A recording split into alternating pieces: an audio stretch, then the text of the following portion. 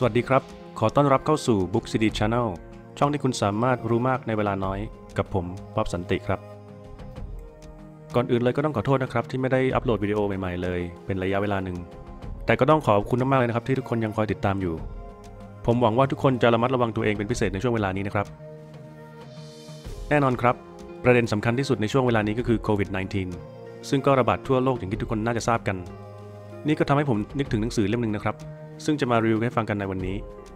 หนังสือมีชื่ออยู่ว่า Guns, Germs and Steel: The Fates of Human Societies เขียนโดย Professor Jared Diamond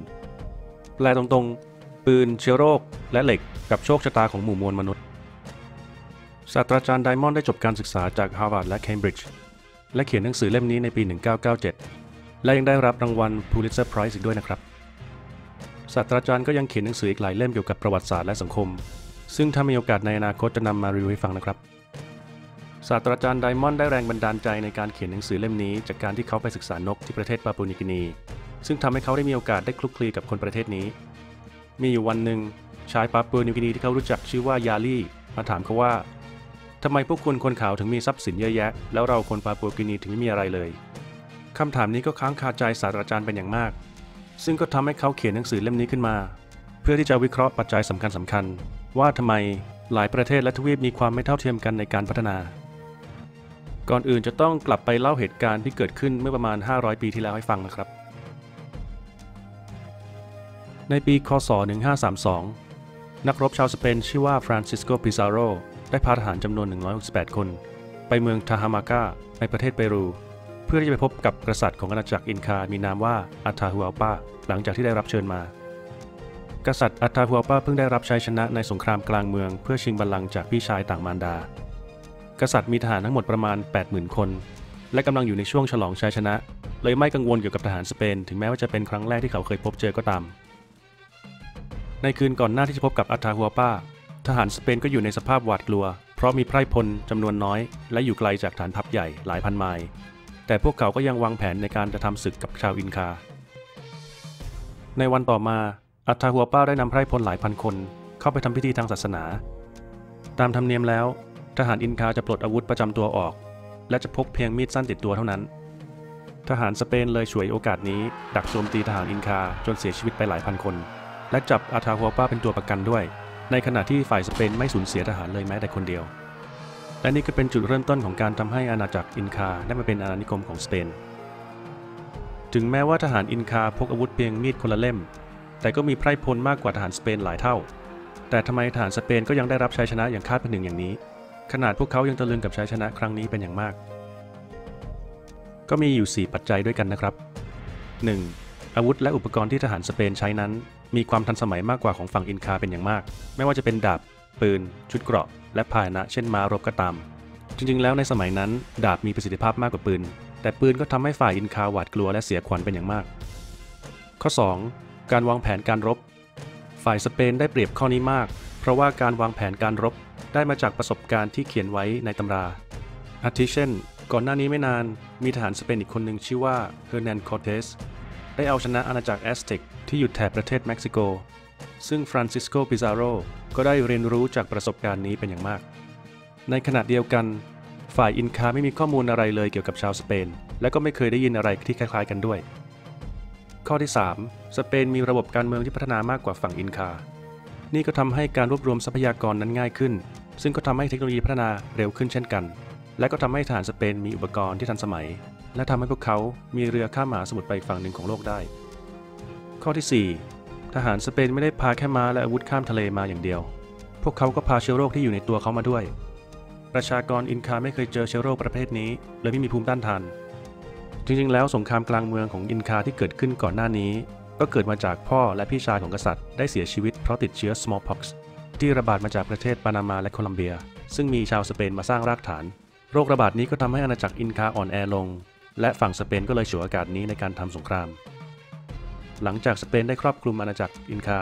ก็ยังเกิดโรคระบาดเป็นช่วงๆ เลยทำให้อาณาจักรอินคาได้ล่มสลายไปในที่สุด นอกจากอาณาจักรอินคาแล้ว อาณาจักรแอสเท็กและมายา ก็ยังได้รับผลกระทบเดียวกันจากโรคระบาด ปัญหานี้ไม่ใช่เกิดที่ทวีปอเมริกาอย่างเดียวนะครับ ไม่ว่าจะเป็นแอฟริกาใต้ ออสเตรเลีย หรือหมู่เกาะแปซิฟิก คนพื้นเมืองในแถบนี้ก็โดนโรคระบาดซึ่งแพร่มาจากชาวยุโรปเช่นเดียวกัน แต่ในขณะเดียวกันนะครับ โรคระบาดก็เป็นสิ่งกีดกั้นที่ทำให้ชาวยุโรปไม่สามารถครอบครองทวีปแอฟริกาตอนกลาง ได้เร็วเท่ากับทวีปอเมริกา ทวีปแอฟริกาตอนกลางนั้น จะอยู่ในโซน tropical climate ทั้งร้อนและชื้นก็คล้ายๆกับประเทศไทยแหละครับ ในบริเวณนี้ก็มีโรคที่ชาวยุโรปไม่เคยเจอมาก่อนอย่างเช่น โรคมาลาเรีย และโรคไข้เหลือง 4 ปัจจัยที่พูดมาทำให้ชาวสเปนและรวมถึงชาวยุโรป สามารถครอบคลุมอาณาจักรที่ด้อยพัฒนากว่าได้ง่ายดาย แต่ที่มันน่าสงสัยก็คือทำไมปัจจัยเหล่านี้ถึงได้ไปอยู่ฝั่งยุโรปฝั่งเดียวล่ะครับทำไมไม่ตรงกันข้ามกันบ้างทำไมชาววินคาไม่ได้เป็นคนถือปืนเข้าไปสเปน และไปจับกษัตริย์ของเขาเป็นตัวประกัน ศาสตราจารย์ไดมอนด์ได้เสนอความคิดที่ว่า การปฏิวัติการเกษตร เป็นปัจจัยหลักของการพัฒนาสังคมและเทคโนโลยี แถบไหนพัฒนาการเกษตรได้เร็ว แถบนั้นก็จะได้เปรียบ การปฏิวัติด้านเกษตรคาดว่าเกิดขึ้นตั้งแต่ประมาณ 13,000 ปีที่แล้ว ในแถบตะวันออกกลาง โดยเฉพาะแถบที่ชื่อว่า Fertile Crescent ซึ่งครอบคลุมอิรัก ซีเรีย เลบานอน อิสราเอล และจอร์แดน หลังจากนั้นการเกษตรก็ยังเกิดขึ้นที่อินเดีย จีน และอเมริกาตอนกลาง แถบไหนที่มีการพัฒนาการเกษตรอย่างรวดเร็ว จะทำให้ประชากรในแถบนั้นไม่ต้องย้ายถิ่นฐาน และจะมีอาหารเหลือเฟือเป็นจำนวนมาก ซึ่งก็ทำให้ประชากรเพิ่มขึ้นอย่างมากเช่นกัน ประชากรที่เพิ่มมาจำนวนนี้ก็ไม่จำเป็นจะต้องทำการเกษตรทั้งหมด พวกเขาสามารถเอาเวลาไปพัฒนาทางด้านอื่น อย่างเช่น การพัฒนาการเขียนในการบันทึกผลผลิตการเกษตร การพัฒนาด้านรบและอาวุธ และต่างๆ นานา การมีประชากรมากขึ้นก็ทำให้การเมืองพัฒนาเช่นกัน ซึ่งก็จะแบ่งเป็นชนชั้นปกครองและประชาชนทั่วไป ท้ายสุดก็จะต้องมีทหารเพื่อที่จะปกป้องจากศัตรู สิ่งเหล่านี้ทำให้เห็นได้ว่าการพัฒนาการเกษตร สามารถทำให้เผ่าเล็กๆ กลายมาเป็นอาณาจักรใหญ่ ๆ ได้ ทวีปยุโรปและเอเชีย จากนี้จะเรียกร่วมกันว่ายูเรเซีย มีข้อได้เปรียบมากกว่าทวีปอื่นในการพัฒนาการเกษตร เพราะมีภูมิศาสตร์และสภาพแวดล้อมที่เหมาะสมในการทำเกษตรอย่างมาก นอกเหนือจากนั้นยังมีพืชผักและสัตว์นานาชนิดที่พร้อมเพรียง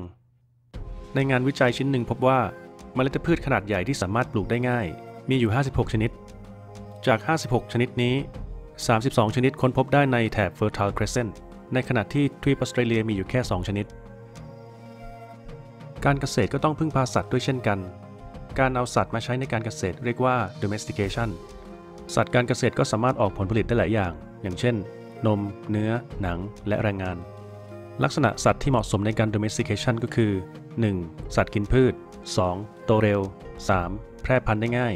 4. ไม่ดุร้าย 5. ไม่ตื่นตูม และ 6. เป็นสัตว์ที่อยู่กันเป็นฝูง จากสัตว์ชนิดใหญ่ทั้งหมดที่มีน้ำหนักมากกว่า 100 ปอนด์ มีอยู่แค่ 14 ชนิดเท่านั้นที่สามารถนำมาใช้ในการเกษตรได้ ก็คือ แกะ แพะ วัว หมู ม้า อูฐ2ประเภท อัลปาก้า ลา กวางเรนเดียร์ควาย จามารี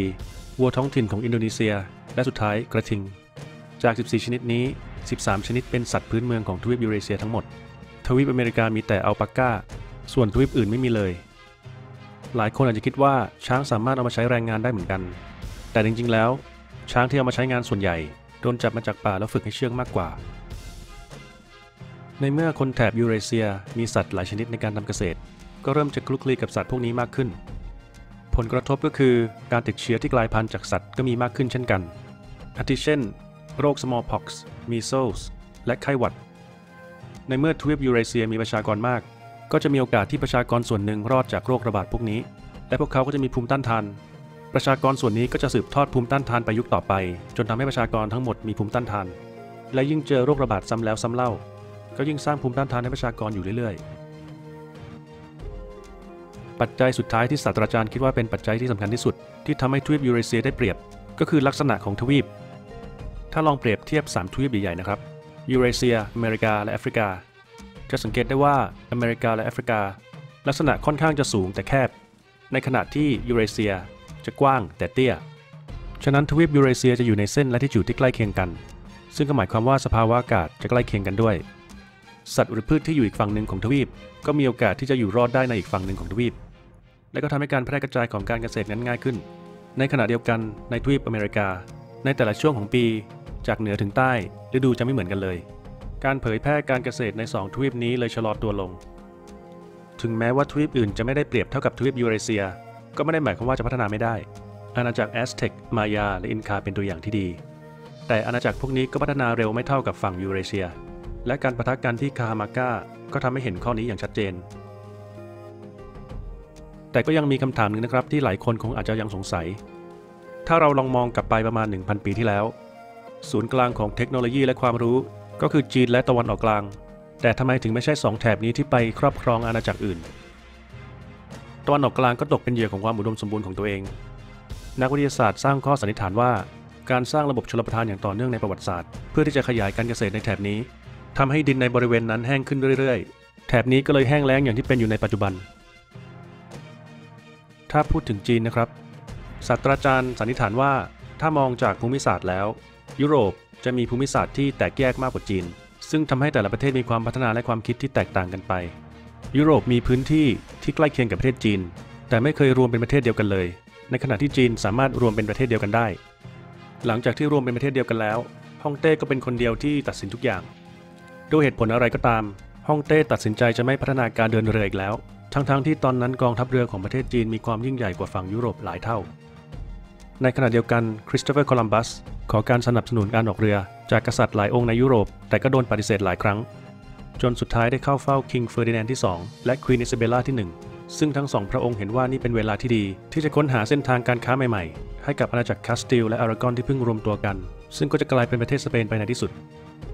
ในช่วงเวลานั้นหลาย ๆประเทศในยุโรปจะต้องคอยแข่งขันกันในการชิงอำนาจ แต่ละฝ่ายเลยจะต้องพัฒนาตัวเองให้เร็วที่สุดเพื่อที่จะเป็นที่หนึ่ง